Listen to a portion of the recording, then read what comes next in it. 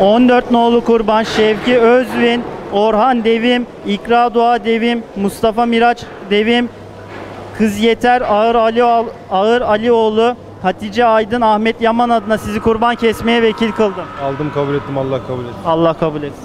Bismillah Allahu Ekber.